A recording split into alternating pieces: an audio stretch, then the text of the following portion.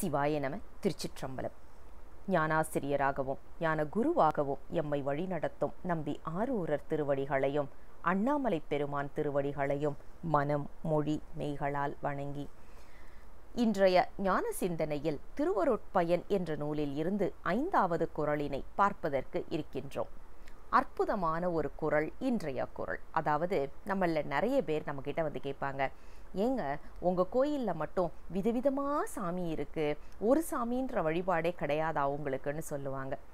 ஒரு தெய்வ வழிபாடு ஒரு தெய்வ கொள்கை தான் சைவம் என்பதை நினைவில் கொள்ள வேண்டும். ஆனால் அது அவரவர்கள் பக்குவ நிலைக்கு ஏற்ப பலவாக நிற்கின்றது என்பதை நாம் புரிந்து கொள்ள வேண்டும். யோசிச்சு பாருங்க நாம் இன்னைக்கு படிக்கிற காலகட்டத்திலேயே சிலரால் ஆர்ட்ஸ் அப்படின்னு சொல்லக்கூடிய வரைகிறதோ அல்லது பாடுவதோ அல்லது நடனமோ அந்த மாதிரி கலைகளில் அவர்களால் ஈடுபட முடியும். அவர்கள்கிட்ட கொண்டு போய் கத்தியும் கத்தியை கொடுத்து நீ வந்து மருத்துவராக வா வா அப்படின்னு சொன்னால் முடியுமான்னா முடியாது. அவர்கள்ட்ட ஒரு பெரிய பிரிட்ஜை கட்டு அப்படின்னு சொன்னால் கட்ட முடியாது. அப்போ பாலம் கட்டுவதற்கு என்று சில படிப்புகள் அதற்கான விருப்பம் உள்ளவர்களுக்குத்தான் அந்த படிப்பு போகும். அதே மாதிரி ஒரு பெரிய ட்ரெயினை உருவாக்கு அப்படின்னு சொன்னால் அப்படிப்பட்டவர்களுக்குத்தான் இருப்போம் மருத்துவர்னா எல்லாரும் மருத்துவர் ஆயிட முடியாது. எல்லாருமே நடனம் ஆட முடியுமான்னா ஆடவும் முடியாது. அப்போ அவர் அவர்களுடைய விருப்பம் அவர் அவர்களுடைய பக்குவம் என்பதற்கு ஏற்பதான் நம்மளுடைய பாடத்திட்டங்களே அமைந்திருக்கு. உலகியலே இப்படி நான் அருளியல்ல. எத்தனை விதமான மக்கள் இருக்கின்றோம் எத்தனை விதமான பக்குவ நிலைப்பாடு இருக்கு. அப்போ அதற்கேற்ற மாதிரி நமக்கும் பிரிவினைகள் இருக்கணும் இல்லையா?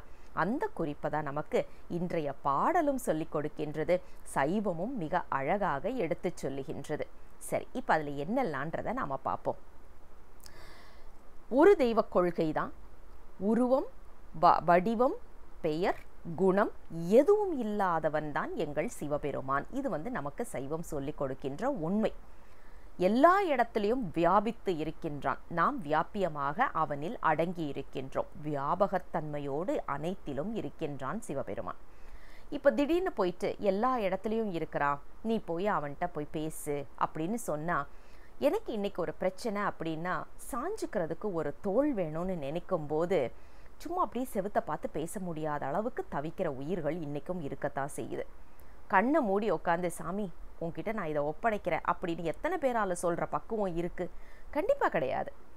அவர்களுக்கு கருணை செய்ய வேண்டும் என்பதற்காக பெருமான் என்ன பண்ணுறான் ரொம்ப எளிவந்த தன்மையாக உடல் எடுத்து அதாவது வடிவம் எடுத்து உடல்னு சொல்லக்கூடாது வடிவம் எடுத்து வருகின்றான். எப்படிப்பட்ட வடிவங்கள் அப்படின்னா சிலருக்கு வந்து அம்மாவை ரொம்ப பிடிக்கும். அப்போ பெண் தெய்வமாக வருகின்றான். சிலருக்கு வந்து குழந்தைங்கன்னா ரொம்ப பிடிக்கும். அதுவும் குண்டு குண்டுன்னு அழகாக இருக்கிற குழந்தைங்கள ரொம்ப பிடிக்கும். பிள்ளையார் மாதிரி வர்றான். அடுத்தது அழகான ஒரு குழந்தை முருகர் போல வருகின்றான். சிலருக்கு வந்து அழகான நாட்டிய வடிவம் பிடிக்கும். அம்பலவாணராக வருகின்றான். அர்த்தநாரீஸ்வரராக வருகின்றான். எத்தனை வடிவங்கள் தாங்குகின்றான்? ஏன் அப்படின்னா நம்ம எல்லாருக்கும் ஒவ்வொரு விதத்தில் ஒவ்வொரு இடத்துல ஒவ்வொரு தன்மையில் நம்மளால் லயிக்க முடியும் அப்படிங்கிறது தான் உதாரணத்துக்கு இன்றைக்கி உலகியல் உதாரணமே நாம் எடுப்போமே. ஒரே தோசமாவு தான் ஒரே விதமாக அரைக்கிற மாவு தான் ஆனால் சிலருக்கு இட்லியாக பிடிக்கும் சிலருக்கு பணியாரமாக பிடிக்கும் சிலருக்கு ஊத்தாப்பமாக பிடிக்கும் சிலருக்கு நெய் தோசையாக பிடிக்கும். மசால் தோசையாக பிடிக்கும். எப்படி விதவிதமாக நாம் செய்கிறோம் ஒரே மாவு தானே அதே மாதிரி தான் சினிமா நடிகர்கள்னு பார்க்குறோம் எத்தனை விதமான சினிமா நடிகர்கள் இருக்கிறாங்க? ஒருத்தரை பிடிக்குதுங்கிறோம் இன்னொருத்தரை பிடிக்கலைங்கிறோம். ஆனால் எல்லாருமே நடிக்கத்தான் செய்கிறாங்க அது அவர்களுடைய வாழ்க்கையானா கிடையாது. பணத்துக்காக நடிக்கின்றார்கள். ஆனால் அதுலேயே நாம் எத்தனை பாகுபாடு எனக்கு இவங்கள பிடிக்கும் அவங்கள பிடிக்காதுன்னு நாம் சொல்கிறோம் அப்படி யோசிக்கும் போது உலகியல்லையே இத்தனை இருக்கும்போது அருளியல்ல.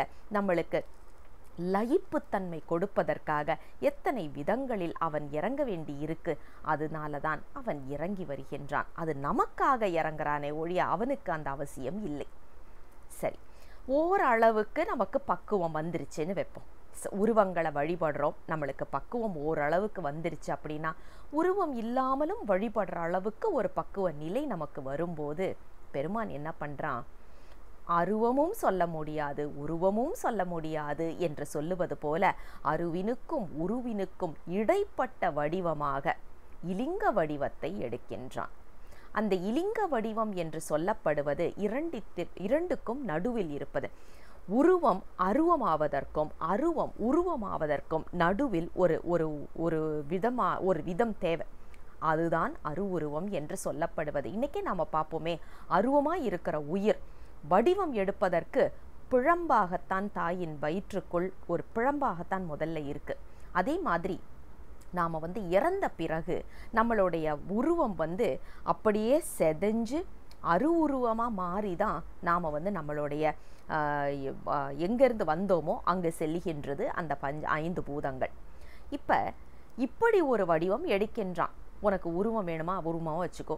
அருவமாக வேணுமா? அருவமாக வச்சுக்கோ. உனக்கு என்ன பக்குவ நிலையோ அதன்படி இருக்கும் என்று சொல்லித்தான் நமக்கு வந்து இலிங்க திருமேனியாக இலிங்க வடிவமாக வந்து அருள் செய்கின்றான். யாருக்காக என்றால் நம் போன்றவர்களுக்காக. அதுவும் இல்லாமல் எங்கே இருந்தாலும் பெருமானை உணரக்கூடிய தன்மையில் இருப்பவர்களுக்கு அருவமாக இருக்கின்றான். அப்ப பக்குவ நிலைக்கு ஏற்பதான் உருவம் அரு உருவம் அருவம் என்று மூன்று மூணுமே வந்து வடிவங்கள் தான். இது மூணுமே வந்து வடிவம் என்று சொல்லப்படுகின்ற நிலையில் வந்துடும் பெருமானுடைய தடத்த இலக்கணத்தில் வந்துடும் அவனுடைய சொரூபத்தில் இருக்காது. அருவ அருவமும் ஒரு விதத்தில் தடத்தம் தான். இறங்கி வருகின்ற தன்மை தான்.